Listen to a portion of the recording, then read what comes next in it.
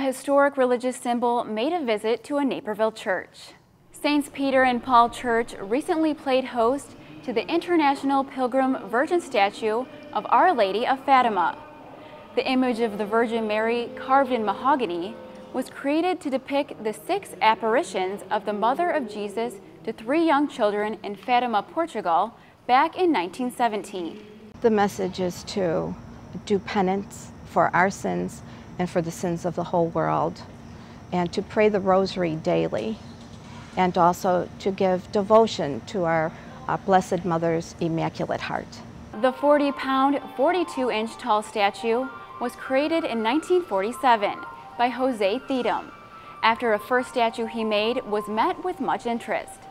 The second statue has been traveling nonstop since the year of its creation, spreading a message of repentance. The visit to Saints Peter and Paul was part of a nearly two-year centennial U.S. tour for peace in celebration of the 100th anniversary of the sightings.